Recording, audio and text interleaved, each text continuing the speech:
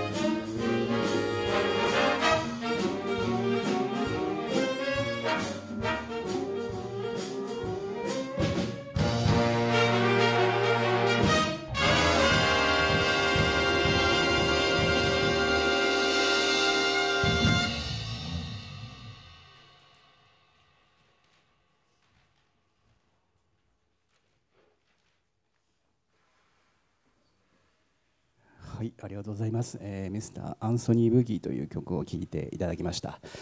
えー、ラスト前の曲になります、えー、キューバ出身のトランペット奏者アルトゥール・サンドバル、えー、1998年リリースアルバム「ホットハウス」の収録曲になります。えー、トランペットフィーチャーの、えー、曲になります、えー、ソリストがまあ次々変わりますので、えー、それも見どころとなっております、えー、クロズリーダンシングという曲を聴いていただきます。